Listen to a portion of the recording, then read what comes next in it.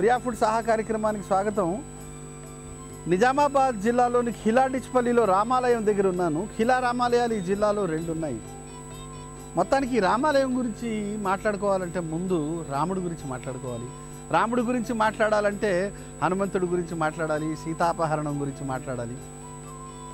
సీతాపహరణం జరిగిన తర్వాత రాముడు ఆంజనేయుని కలుస్తాడు ఒక దశలో.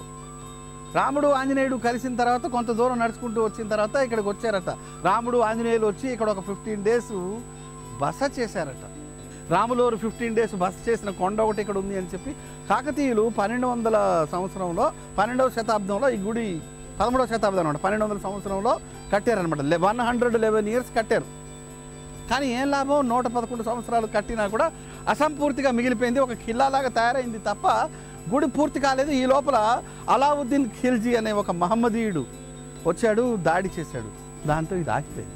అలాగా అసంపూర్తిగా ఆగిపోయింది. పంతొమ్మిది వందల నలభై తొమ్మిది దాకా ఇక్కడ విగ్రహాలు లేవు. ఖిల్లాలాగా ఉంది కూర్మాకారంలో ఉంది అదంతా